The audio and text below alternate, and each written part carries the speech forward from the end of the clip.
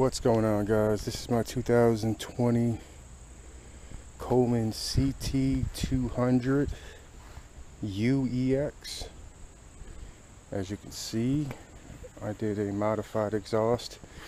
The exhaust is one of those eBay brand, Amazon brand, off-brand for you know your Chinese scooter or I think even Honda Ruckus said fitted and kind of modified it to work on this bike because other words it wouldn't wouldn't work at all. So here here you go. There's a cut it right here. We turned it 90 degrees and then we did a 40 degree turn on the flange.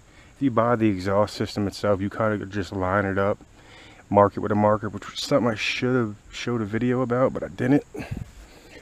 But uh other than that, I mean, it sounds freaking awesome. It's a lot faster than it was. Um, so before, I was averaging, let me check right here through my phone. Got pictures. So, this is what I averaged. 46 miles an hour. 46 miles an hour. That was one of them, and I redid it again because it didn't look right. And this is where I'm at now 36 miles an hour. This is what I kept on getting over and over again. 36 miles an hour with a 20 mile an hour average. Um, when we first when we first started this uh, when I first got the bike we were at, we were top speed was 19 that was that was the top speed of 19 and then I also seen where you go there.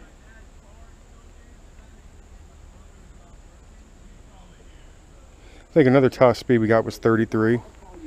So what we did to the car, the motorcycle, besides this exhaust system, uh, we did this little mod here. You could also check out where you kind of stop the governor from going on sooner and pretty much that's it. That's it uh, 93 gas. I put in here 93 gas and then we did this little modification here with the uh, I guess it delays the governor is what it was I believe.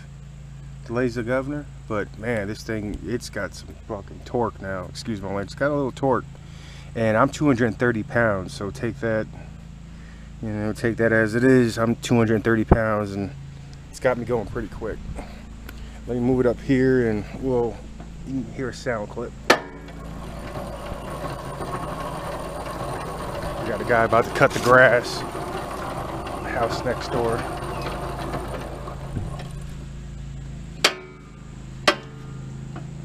Alright, so start her up.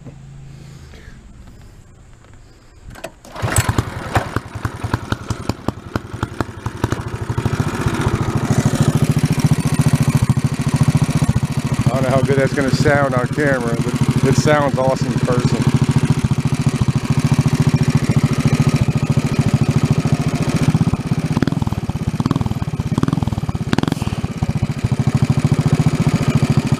This thing's real torquey down low now.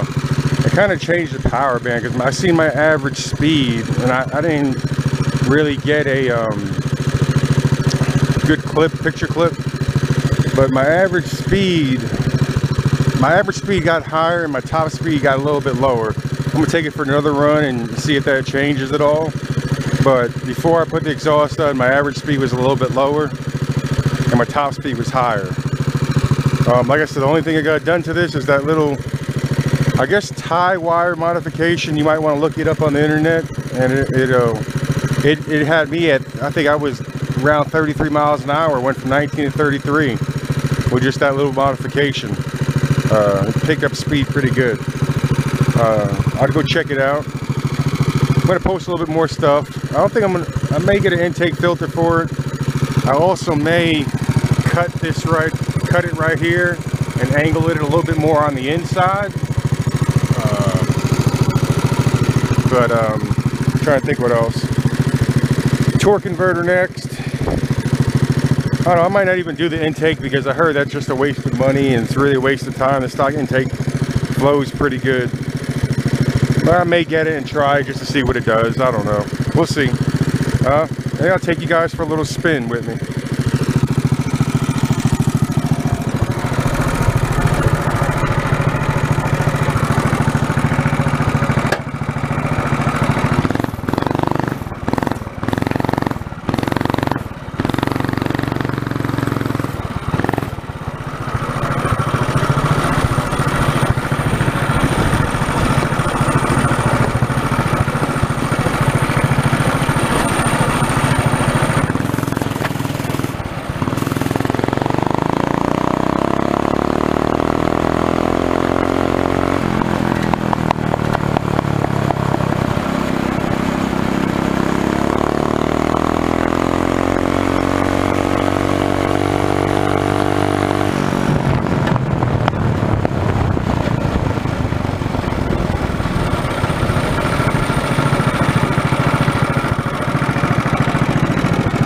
Might get some complaints at the trailer park.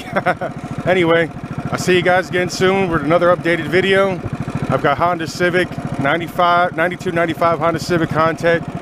Uh, 04 to 2010 Ford F350 content coming soon, diesel. Uh, and um, that's about it for now.